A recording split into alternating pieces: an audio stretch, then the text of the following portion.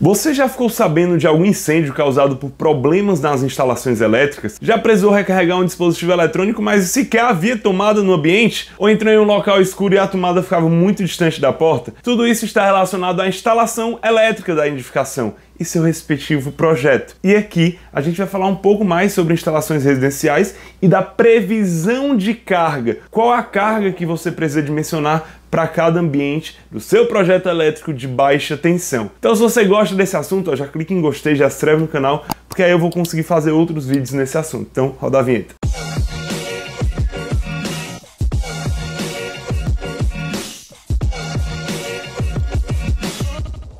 Igor, o que é um projeto elétrico de baixa tensão? Qual a diferença?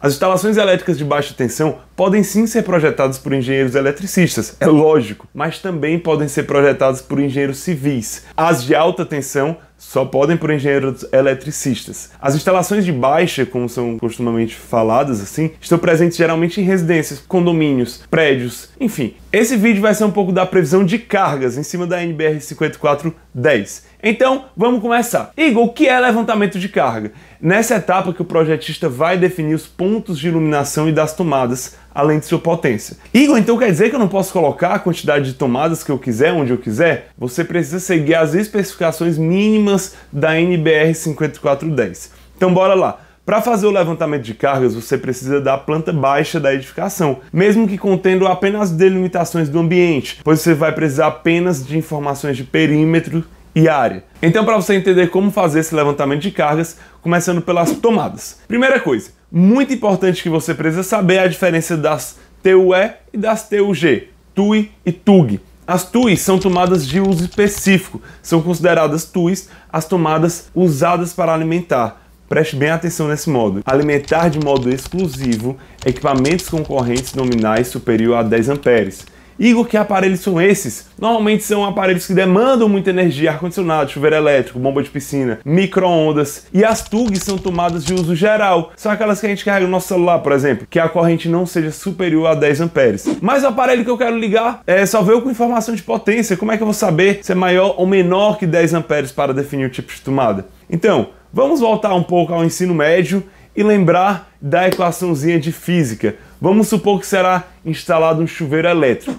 Esse que você está vendo aí na foto. Esse chuveiro tem 7.800 watts e uma tensão de 220 volts. A tensão é determinada pela concessionária de energia. Então aqui em Fortaleza, por exemplo, é 220, mas há outras cidades que é 110. Então, continuando, você vai descobrir qual é a sua concessionária de energia, a voltagem. A gente sabe que potência é igual a tensão vezes a corrente. Então, se eu quero saber a corrente do meu chuveiro, eu preciso dividir a potência pela tensão. Então, nesse caso, 7.800 dividido por 220 é igual a 35. Logo, se a corrente do meu chuveiro será 35 amperes, ele precisa de uma tomada de uso exclusivo acima de 10 amperes. Viu como é fácil? É muito simples, gente. Tudo é muito simples. O pessoal que costuma complicar. Dito isso, bora especificar as tomadas para cada cômodo. Em cozinhas, copas, áreas de serviço ou ambientes análogos, deve ser previsto no mínimo um ponto de tomada para cada 3,5 metros e meio ou fração de perímetro. Então, se a gente tiver uma cozinha de 12 metros de perímetro, a gente vai dividir 12 por 3,5, que dá 3,45. Esse resultado significa que a gente tem 3 mais a fração do perímetro, que é o 0,45. Então a gente tem que ter pelo menos quatro tomadas. Igor, pode ter mais? Pode, a norma especifica o mínimo. Se o cliente quer mais, coloca mais tomada, tá bem? E a potência dessas tomadas? Calma, que a gente vai chegar lá em breve. Vamos primeiro calcular a quantidade de tomadas dos outros cômodos.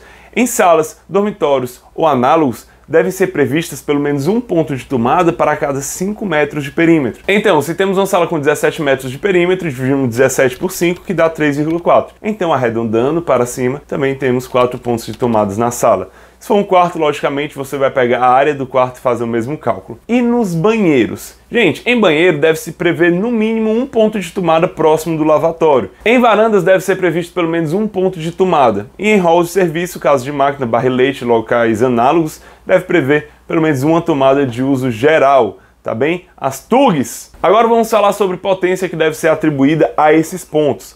Em banheiro, cozinha, copa, área de serviço, lavanderia, locais análogos, no mínimo a potência será de 600 volts amperes por ponto de tomada, para até 3 tomadas. E para as tomadas excedentes, 100 volts amperes por ponto. Então, naquele cálculo lá atrás, em que nós obtivemos quatro tomadas para a cozinha, nesse caso serão três tomadas de 600 voltamperes e uma tomada de 100 voltamperes. Nos demais cômodos ou dependências, no mínimo 100 voltamperes por ponto de tomada. Olha, a gente já está começando a realizar a nossa previsão de cargas. Você está entendendo? Agora vamos partir para iluminação. Mas antes da iluminação, eu quero te fazer um convite especial. O levantamento de cargas que a gente está fazendo aqui é a base para realizar um projeto elétrico. E depois dele vem outros passos que aqui não dá tempo de comentar. Mas o Inova Civil está promovendo o congresso online gratuito. E vai ter uma palestra sobre projeto elétrico de baixa tensão, o passo a passo, todos os subsistemas inclusos dentro desse projeto. Se você quer entender como projetar um projeto elétrico passo a passo, ter o seu certificado de forma gratuita, clica aí no link da descrição e se cadastra no Congresso, tá bem? Então, voltando para o vídeo. De acordo com o NBR 5410, em cada cômodo ou dependência devem ser previstos pelo menos um ponto de luz fixo no teto, comandado por um interruptor.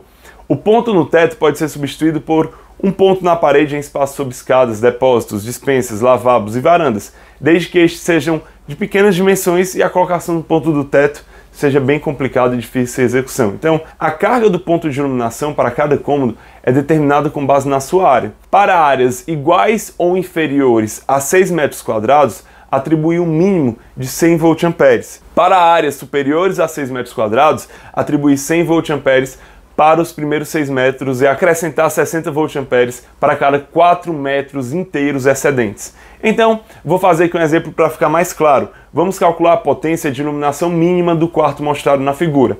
As dimensões do quarto são de 3,40 por 3,25. Multiplicando, a gente tem a área total de 11,05. 11 metros e 5 centímetros quadrados. O primeiro passo é atribuir 100 voltamperes para os primeiros 6 metros. Então, guarda esses 100 voltamperes aí na memória. Então vamos pegar esses voltamperes nesses primeiros 6 metros e guardar. Então se a gente já tirou esses 6 metros, restou a área de 11,05 metros, que é 5,05 metros quadrados de área. Então, o segundo passo é a gente acrescentar 60 voltamperes para cada 4 metros quadrados inteiros. E é importante dizer metros quadrados inteiros. Por quê? Porque a gente vai pegar a área restante e dividir por 4. Lógico que 5,05 dividido por 4 vai dar 1,26. Aí você pode estar pensando que a gente vai pegar 1,26 e multiplicar por 60, né? Não, porque é inteiro. Então são 3 metros inteiros. Então você vai multiplicar só a parte inteira, no caso 1 vezes 60. Então você vai acrescentar 60, porque 60 vezes 1 é 60, né? Lembra daqueles primeiros 100 voltamperes que a gente fez no início? Agora a gente vai somar esses 100 voltamperes com 60 e vai ficar na iluminação mínima para cada cômodo de 160 voltamperes. Feito isso, a gente tem a potência total do cômodo. A gente já tem a potência das tomadas e a gente vai somar todas as potências para a gente saber qual a dimensão, quanto a gente vai precisar dimensionar no nosso cômodo. Depois a gente vai multiplicar por todos os cômodos, somar no caso, e aí a gente vai ter o número que a gente precisa fazer o dimensionamento no nosso quadro, no nosso projeto elétrico, na, no, nas bitolas dos fios que vão passar pela nosso, o nosso projeto. Então, é muito simples fazer uma previsão de carga. E se você quer entender mais sobre um projeto elétrico, passo a passo, clica no link da descrição, se cadastra no Congresso de Inovação da Engenharia Civil. E se você gostou do vídeo e quer saber mais sobre o projeto elétrico, entender direitinho, primeiro clique em gostei e se inscreve, porque eu vou saber o seu interesse nessa área.